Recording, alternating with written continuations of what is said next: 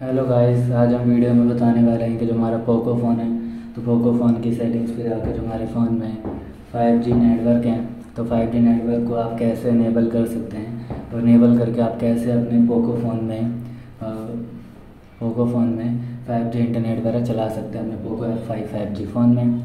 तो video start करने से पहले हमारे चैनल को लाइक करें, सब्सक्राइब करें और साथ में बेल आइकन दबाना ना भूलें। तो वीडियो स्टार्ट कर लेते हैं। तो आप देख सकते हैं जो फ़ोन के आइकन्स हैं, हमारे फ़ोन में शो हो रहे हैं।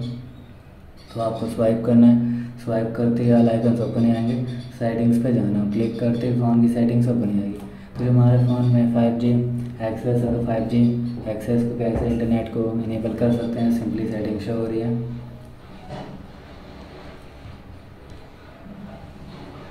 वैसे कोई भी ऑप्शन नहीं आया तो आपको सर्च करना है प्रेफर नेटवर्क टाइप तो प्रेफर्ड नेटवर्क टाइप को ओपन करना है, जहाँ से आप फाइव जी नेटवर्क को इनेबल कर सकते हैं. सिंपली जब आप उस पर क्लिक कर दें तो फाइव जी नेटवर्क हमारे फ़ोन में इनेबल हो जाएँगे, इससे आप फाइव जी इंटरनेट वगैरह चला सकते हैं. इस तरीके से फाइव जी नेटवर्क को आप इनेबल कर सकते हैं, नहीं तो आपको सिम कार्ड सेटिंग पे जाना है. सिम कार्ड सेटिंग्स को यहाँ से ओपन कर देना है. टैप करते सिम कार्ड सेटिंग्स ओपन हो जाएगी. फिर आपके पास आता है प्रेफर्ड नेटवर्क टाइप जहाँ से फाइव नेटवर्क को टैप करके आप सेलेक्ट कर सकते हैं और फाइव नेटवर्क को इनेबल कर सकते हैं, यानी ऑन कर सकते हैं। नहीं तो फिर एक्सेस पॉइंट सेटिंग पे जाकर जो भी सेटिंग्स है, उसको रीसेट कर देना रिस्टोर कर देना।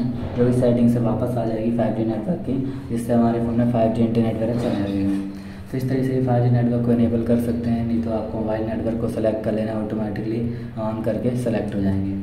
तो इस तरीके से फाइव नेटवर्क को एक्सेस कर सकते हैं अपने और रेडमी फ़ोन में तो आपको वीडियो अच्छी तो लाइक करें सब्सक्राइब करें और साथ में बेल आइकन दबाना ना भूलें। थैंक यू नेक्स्ट वीडियो के लिए इंतज़ार करें वीडियोस को शेयर करें। Thank you